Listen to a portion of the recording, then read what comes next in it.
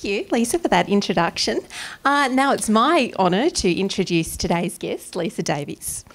Lisa Davies is the editor of the Sydney Morning Herald and she began her career at the national newswire AAP and has also worked for the UK's Press Association in London and the Daily Telegraph newspaper in Sydney. Lisa joined Fairfax Media in early 2012. She's held several senior reporting and editing roles, including Deputy Editor, Investigations Editor, and Justice Editor. In 2016, she was also Fairfax Media's Federal Election Editor, which I'm sure was a very big job. Yeah. Lisa has had a particular focus on crime and court reporting in her career, including travelling to South Africa to cover the Oscar Pistorius murder trial and publishing a book about the inspiring recovery of Sydney bashing victim Lauren Huxley. So please join me in welcoming Lisa. Thank you. Thank you. It's a pleasure to be here. So, ladies and gentlemen, we will have some time for questions um, at the at the end. So, a bit of Q and A with with Lisa. But i am going to kick things off uh, firstly. And, and Lisa, we just heard a few of your career highlights and what you do. But mm. can I take you back and, and can you tell us what led you to journalism in the first place? Yeah, it's a sort of funny story, really, because apparently when I was very young, um, you know, as I was heading towards sort of the age of 10 or 11, um, apparently I just started saying when people asked me what I, what I wanted to be when I grew up, um, uh, that I wanted to be a journalist. And my mum was sort of a bit confused, well, not confused, but sort of, okay, that's weird. Um, and she sort of thought, oh, writing, yeah, she's very good at the writing. Um, and then I sort of kept talking about it, and she thought, oh, terrific, she's going to be a novelist. That's great. Like, I was quite creative, and, you know, best-selling author, my mother thought this was going to be, this is going to be great. Um, but I just kind of, it was weird. I, I didn't even, I remember the first time telling someone about that um, that I wanted to be a journalist and not really even knowing what it was. um, and uh, yeah, it just sort of happened. I ended up. Um, you know, I was really, I really enjoyed English at school, and um, when I went to university, it was just a sort of no-brainer for me that I was going to get into the media, and um, just sort of went went straight into um, University of Queensland. I was at school in Brisbane, and yeah, just it just sort of happened from there, and um, I feel very fortunate about that because I know that so many people, as they're growing up, sort of changed idea, have lots of ideas, and don't quite, quite know which which way to, to what to pursue. And I think I, um, yeah, I feel very fortunate that I sort of had this idea out of nowhere that that's what I wanted to do, and here I am today. So it's it sort of worked out okay, I think. yeah, obviously meant to be. It yeah, sounds like so. it was just a real calling yeah, from the yeah. from the start. Lisa, I mentioned a few of the, the stories you've covered: the federal election, the Oscar Pistorius. What do you consider your your career highlights? Um, I think there's probably a couple. I mean, the Pistorius case was amazing. I'm sure um, most people in this room will remember uh, this um, Paralympian, this um, incredibly inspiring individual who competed at the Olympic Games in um, 2012 in London. I think the London Games he ran, um, notwithstanding he's a double amputee and had had a really and you know courageous you know fight to, to become an athlete and incredibly fit and a huge uh, identity in South Africa like he was very much looked upon there as this sort of um, yeah, a bit of a demigod, I guess. Like uh, in South Africa, when I was there, uh, people were kind of shattered about what had happened because, of course, he went on to um, shoot dead his girlfriend, um, who was in the in the bathroom of their of the of his unit. Um, the idea to go and cover that came about quite spontaneously. Um, I randomly said to my boss, my my then boss, who former editor of the Herald, Judith Whelan um, that I wanted to go, and would she let me go? Because actually, I really wanted to go on safari, um, and I had some holidays due, so I thought I could do both. And she, we we built a business case for it because it wouldn't have normally been something. I mean, he's not an Australian, you know. The, the, the sort of reasons that we would send someone to an event like that weren't obvious, but I built a case for it, and it turned out to be hugely successful for our digital. Um, readers and, and also subscribers. So um, Look, that was an incredible experience. I can't really explain to you what it was like being in that room when he was giving evidence, when there were these incredible moments in the trial of like heartbreaking testimony and just some some quite violent and graphic information that was shown and just the camaraderie of the reporters that were there it was you know i've made i was sitting it sort of was a real pinch me moment i was sitting in the row in the court just behind um, cnn the BBC, the London Times, the Telegraph UK, um, you know, the Guardian, the International Guardian media. Like there's just every major news organisation was represented, and I was incredibly proud that I was there for the Sydney Morning Herald. I was the only print journalist to go. Um, I think Channel Nine and Channel Seven both had sent people, but that was it. And we had a ball as well, as horrible as the evidence was. Um, uh, the actual experience of being there. And so Judith allowed me to go for three three weeks with one week's holiday afterwards. I stayed for seven um, because the evidence was just so amazing and it just kept dragging out. And then I went back for the verdict a few months later. So I think that was that was a highlight. I mean, federal election too. I have to say on a on the domestic side. Um, you know, that was an intense eight weeks of ridiculous campaigning. And while I didn't travel or, or do anything, it was, you know, it was actually a real challenge for us to keep people interested. um, you know, the Prime Minister made this decision to have this incredibly long campaign. Um, think he probably regrets that now. Um, but uh, but it was it was a real you know it was a massive effort to wrangle people and wrangle our bureau and and you know have some big projects and some events and and it was a, it was really great. And I, I mean I do love politics, so I have never really covered it to a great extent, but I but I've always been fascinated and interested in it. So yeah, I think those two things are, are probably uh, in the top. Yeah, definitely in the top five. well, after obviously a very successful career as a journalist, you are now you've risen yeah. to the to the ranks of, of like editor. Yeah. That must have been a huge a huge honour to. It certainly is, and and you know I. I never had this ambition of doing this. Um, you know, in fact, if you when I was made editor, my dad said to me, wow, like I remember it wasn't long ago you were saying to me you just wanted to keep writing, you didn't want to rise up through the ranks, and oh, that went well.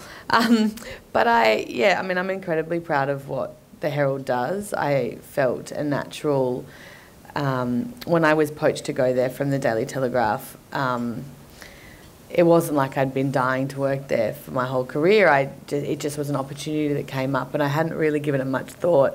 And I went across as the crime editor, crime and justice editor, and I, I remember in my first week there, even though the job was bigger, more pressure, um, more people, like I had a number of more direct reports, I actually felt, I had never felt more supported um, and and just engaged with the people that I worked with. Um, I mean, journalists are funny creatures, and I'm sure you would agree. Um, we have a very close knit working relationship, and I mean, a lot of my best friends are people I started with um, you know, 15, 20 years ago. So, I mean, we, we stay close when we're, when we're close, I think. Um, but at the Herald, I've just found some incredible people to work with, and, and it just feels like an environment where we support each other and compete with our competitors, not compete internally, which is, you know, that's a feature of some other newsrooms, and that's mm. fine. And, and look, I did, you know, to some extent, that was a big part of what helped me along my career at News Corp. But um, yeah, I have to say the Herald is, you know, and it's been through the wringer. Like you can't go. I mean, I can't go anywhere really without people sort of saying, oh, you know, oh, how's it all going?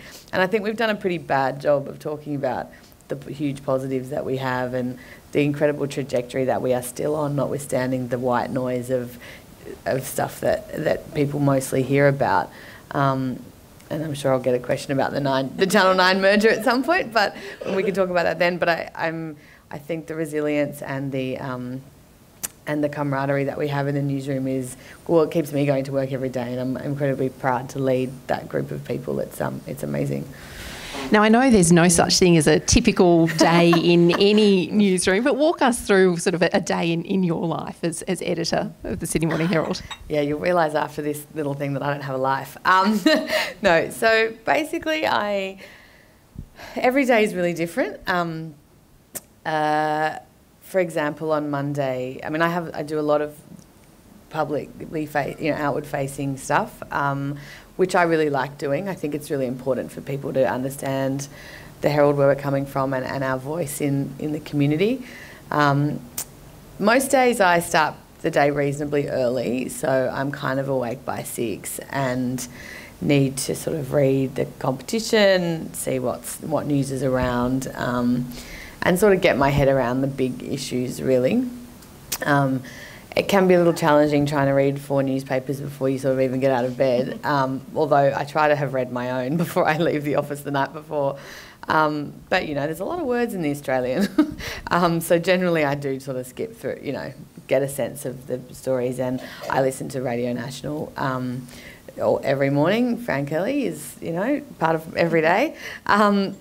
And so then we have a morning news conference by nine, and that's a sort of time to really set our focus for the day. We talk about all the big stories, and we do a national hookup with our counterparts at The Age, the Canberra Times, our Federal Politics Bureau, um, our little Brisbane office, the Brisbane Times, and um, and it's great. It's a good opportunity to talk about the, everything that's happening has happened overnight in the world space, like what's happening in um, other parts of the world through our foreign desk um, talk about domestic, what's coming up, what we need to be aware of. And these days we're very focused on different time points through the day. So we have what we call, like on our digital site now, we have an edition based website. So we try to not move things around so frenetically as has been the case in the past.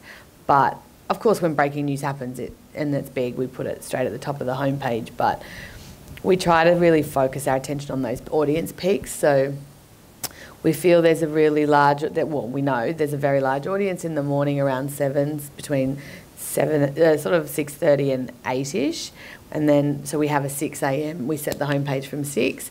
Then we have a nine o'clock changeover, and that's a lot time when a lot of office workers get to there, and it's off, and we see a bit of a, a spike in readers then as people are checking in with the day on, on the Herald. And then there's a huge lunchtime audience. Like actually, lunchtime is our biggest audience of the day. So um, between so we so we reset the site again at midday, and there's a big peak between sort of 12 and 1, 1:30.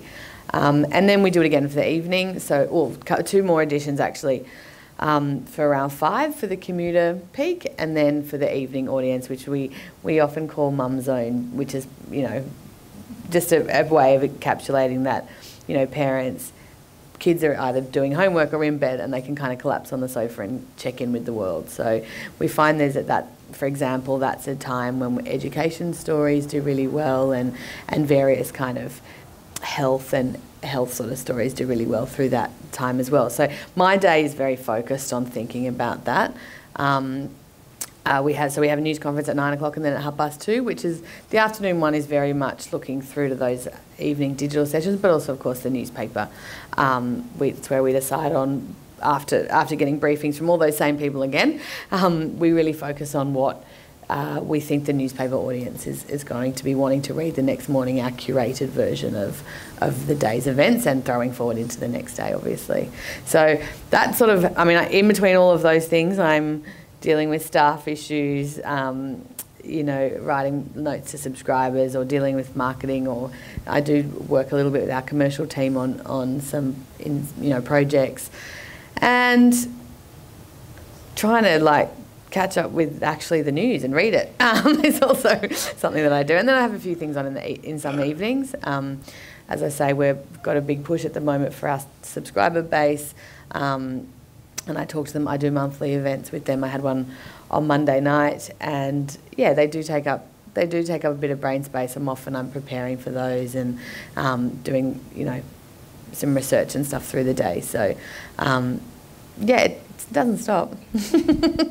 and certainly the way we consume news mm. nowadays has, has, changed certainly in the last yeah. rapidly in the last 10 years or so how has um, you know now having a digital presence and those online uh, media impacted the way the, the newsroom operates you've sort of mentioned you've got mm. multiple deadlines you hit throughout the day so clearly that's yeah, one of the big changes it is and i think we i think the herald and, and other fairfax publications have they were pretty early adopters um, and you know, rightly or wrongly, and I, am not really here to make a judgment on that, sort of rushed headlong into it and and embraced it, and that's the reason largely that the Herald has the still has the largest cross-platform audience of all media in the country, um, almost five million readers per month, which is huge. Um, now, it's been argued, and I don't disagree, that part of the reason we got such a mass audience was because of a certain type of content. People use terms like clickbait and the like. Um, I just prefer to say it's it was a it was a deliberate tactic to get a large audience, and it worked. Um, what we're trying to do now is sort of reframe that conversation around what is it that people really want and what is it that they're willing to pay for.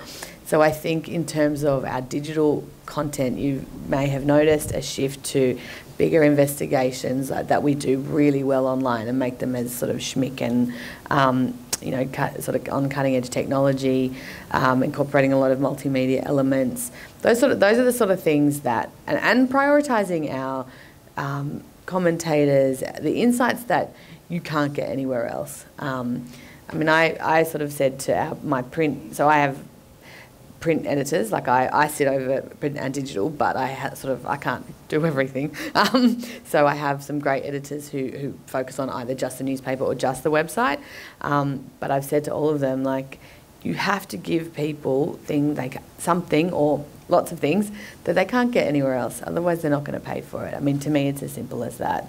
Um, that's why you know I know that it might be annoying for people, but I am determined to keep putting the word exclusive on the front page as often as possible because while the Australian likes, you know, the Australian likes to do it for the same reason we do, it's because readers will go, oh, that's something that I'm not, that no one else is getting. Um, so for me, but that works, it works in the newspaper, but it also works on the online as well. And for me, we have to build a sustainable business and it needs to be funded by the people who want to read us and and you know by doing you've got to give them a what they want and b things they can't get anywhere else I was going to ask about because I'm really fascinated by this sort of digital versus uh, print or traditional. Yeah. So, at, at um, the Sydney Morning Herald, are the, the newspaper and digital offerings sort of separate, or are they integrated? How and and you know how so do you split a, your time between the, the two? So we try very much to keep it's we look at it as one newsroom. Well, I do, um, and, and everyone who works there seems to. Um, at our conference, uh, and at both, particularly the morning, well, morning and afternoon conference, my digital editor will say, "When can I have that? When can I have that?" And sometimes there are embargoes imposed by the, you know, if it's a medical journal, a story from a medical journal, you know, there will be hard embargoes um, that are midnight, or, or so that they have to be for the paper only in that in the in the beginning. Um, but there's a real, we try to have a real conversation and a real, um, like, when is the audience going to want this story most? People used to talk about, you know, digital first journalism. That's where everything, as soon as we got it, went straight online. For me, I, oh, I think we all adopted a more sort of audience first. When is the time that this story is going to be read by the most people and have the greatest impact? So in smaller newsrooms, we have to really focus on priorities and, and, and and getting more impact out of every piece of journalism because we can't do everything anymore. Um, the days of the, you know, journal of record that people still like to call the Herald, as sad as it is, it sort of doesn't really exist anymore. We can't physically do it with the resources that we have. Um, so we have to put our time and energy into the, the stories and the issues that matter to our readers. So for me, it's a kind of a balance because the two audiences are quite different. Um, the print readership is uh, older, um, more considered. Um, the the but then like everyone has a mobile phone, so um, everyone can read you know the website online too, and you know there are different there are just certain different stories that resonate resonate more. Um, I try to not have a favourite child, um, print or the you know the print, the paper or the website. Um, but there is nothing like. I mean, Judith, my old boss, used to say, um, you know, there, there's nothing more fun than putting out a newspaper. Um, and it's kind of true. Um, by you know crafting those headlines, by you know choosing the right photo, and and I mean I still do love at five o'clock wandering over and having a conversation with my print editor about and saying to him, "Is that real? Do we really want to use that photo?" And and you know, I, either I've chosen a different one, or we have a you know we have a conversation about it. And um, there was actually an example quite recently where um, it was a slightly risque photo to be putting on the front page, and I ended up polling the entire office to get a sense of what people might say if this photo of a male model with his just um, it was a story about um, uh, I think it was a swimwear. It was a case study for a story about a business, but it just happened to be a swimwear story. And there was a man in sort of budgie smugglers, um, under, you know, underwear, and I, I, polled the whole office just to see who'd be offended or not, um, and it was quite fun. and we ended up running the photo. so anyway, I, think look, the paper's great. The website is um, is a beast, uh, you know, of itself, and the metrics that we have and the way we can track. In some ways, it's an easier thing to edit because the audience tells us what they want to read, other than our calls about the things that might not be the most popular or might not be the most, you know, at first glance, the most interesting. If if we say it's important for readers and we put it at the homepage, that's our call uh, to make. So we try very much to let the audience drive what they're reading at the top of that site. You mentioned that you know you still want to be able to publish exclusive on, on the front page. How do you lead the news agenda when there are so many competing news outlets and social media and all of those? I think one of the biggest traps that I know that I've fallen into, but I think a lot of media outlets do, is that they write stories for their contacts and for people of importance. Um, you know, I know full well that the National Energy Guarantee is one of the most complicated and difficult policy areas um, to to get into. I, but it's also really important that people understand that. And look, it took me a long time to get my head around it. But when you see story after story of sort of iterative, like very low level, minor bickering and whatnot, that's actually not helping. And I think we've seen with that issue in particular a real level of confusion and disengagement with the story because there's almost, you know, people are writing stories for their contacts, like because they want that that secret person who says the reports are rubbish, this report's, you know, like, so all this stuff doesn't actually help.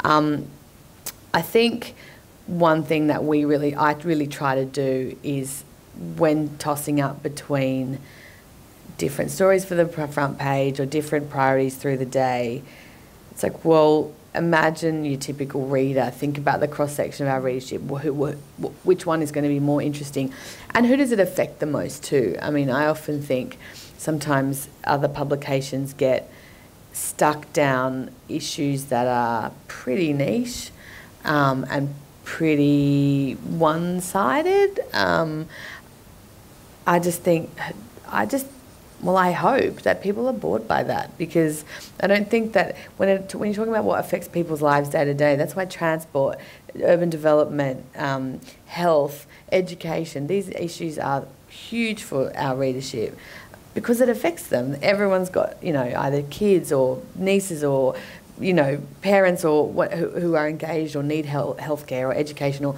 These issues are really core to what we do because because people care about them and it affects their lives. Endless debate about, oh, so many of the things. It just becomes just becomes meaningless to people and they tune out and I think it gets very boring. So look, people, you know, people can have their different views on that stuff, but um, I just really think in terms of setting the agenda, it has to be, you know, our public interest test is still the one, you know, what are people going to care about? Um, on Saturday afternoon, the editor of the Sun Herald, who re- still reports to me because I actually my job goes across seven days, um, she called me and was like, "Oh, I'm tossing up between two stories for the front page and wanted to just have a chat about it. Have you, you know?" And I was more than happy to do that. Um, and it was again, it was a story of, um, you know, a, a, suggestion that there is some.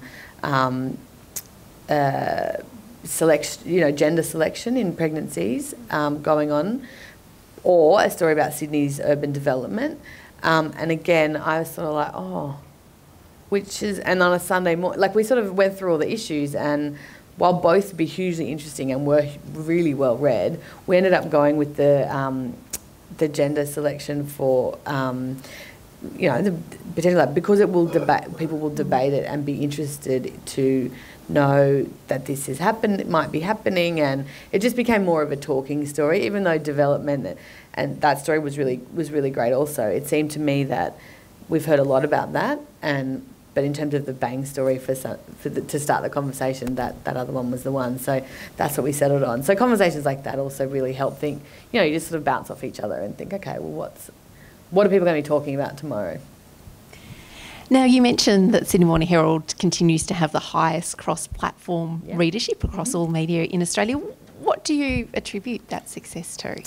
Um, I think people know that what they're getting is not fake news. Um, I think we're a brand who has been around for 187 years. Um, I think we are almost. I think it's we are the uh, the oldest continuous.